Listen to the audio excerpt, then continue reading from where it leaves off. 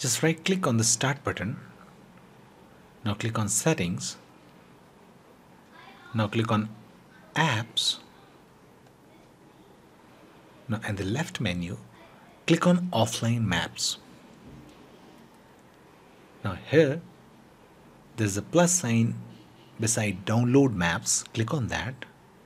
And now you can download maps of a particular section which you can use offline for example if you want to download map of a country in Europe and let's say you want to download Cyprus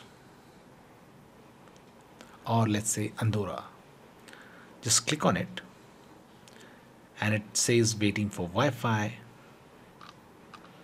Now if it says waiting for free Wi-Fi you have to turn it on metered connection and now it'll get downloaded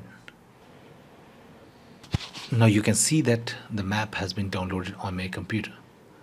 Now I can use it offline also. So just search maps. And now click on maps. Now search the map which you have downloaded. Hit enter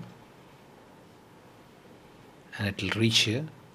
Now this map of the particular location which you have downloaded on your PC this you can use even you are when offline your PC or your device is offline.